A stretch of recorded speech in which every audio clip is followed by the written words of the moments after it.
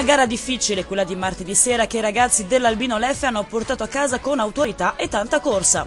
Avevamo comunque di fronte una squadra forte, ben organizzata, e... però siamo stati bravi questa sera, soprattutto nel primo tempo abbiamo espresso un buon gioco, abbiamo fatto, fatto un gran gol lui, ha fatto un gran gol eh, Ruopolo e quindi che ci ha permesso di, di andare in vantaggio e siamo riusciti a amministrarlo anche nel secondo tempo. Importante il gol di Cellini, il secondo in due partite consecutive, che ha sbloccato la situazione. Peccato solo per un errore che poteva regalare la doppietta personale al bomber toscano. Eh, sicuramente c'è un pensiero a Mario su quell'occasione che per me in questo momento specialmente importante, sarebbe importante sempre buttarla dentro, però abbiamo fatto un'ottima prestazione nel primo tempo Secondo tempo siamo un po' calati ma l'importante ecco, era non subire il gol, eh, l'obiettivo era quello, ce l'abbiamo fatta.